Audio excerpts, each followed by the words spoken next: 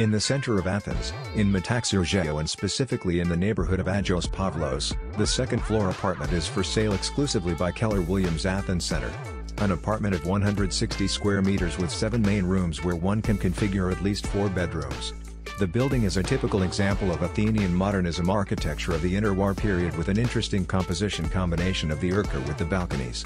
Clean forms and volumes, compose a remarkable building, which stands out, is in very good condition and in an advantageous position with free views.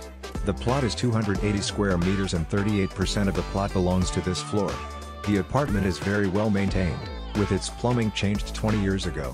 It is heated by electricity and has three air conditioners, while the building already has natural gas for the other floors. The floors, wooden and tiled, are in excellent condition, there is a new and beautiful security door at the lower entrance and insulation on the roof. The building is completely inhabited and is not listed as preserved.